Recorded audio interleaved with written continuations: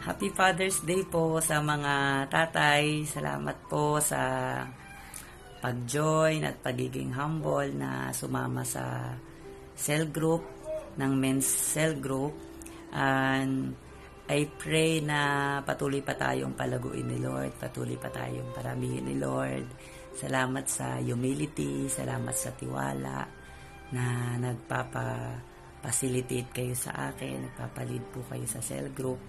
I pray na ingatan kayo ni Lord. I pray na pagpalain pa kayo ni Lord ng malusog na pangangatawa na makapag-serve pa sa family, makapag-provide pa sa family. Pagpalain kayo, Lord. I de- declare blessing, I declare abundance sa mga tatay. I pray for opportunity to produce wealth pa. I pray for increase. I pray for love and good health. In Jesus'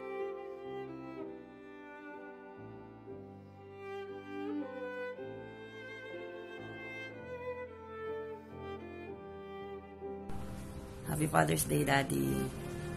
Gusto kong malaman mo na mahal kita at nagpapasalamat ako sa effort mo na araw-araw nagluluto ka para sa amin, ng kakainin namin. Lord, I pray kay God na patuloy kang i-bless ng malusog na pangangatawan. Ingatan ka sa mga sakit. Ingatan ka na hindi ma-infect ng kahit anong karamdaman. I pray na patuloy ka pa niyang palakasin. I pray na makasama ka pa namin ng matagal. Pati makita mo pa yung mga apo mo sa amin, sa akin, sa mga kapatid ko. And God bless you, Daddy. Praying for you always. I love you. And kay Lord na, kay Lord, si Lord na bahala sa family natin. God bless.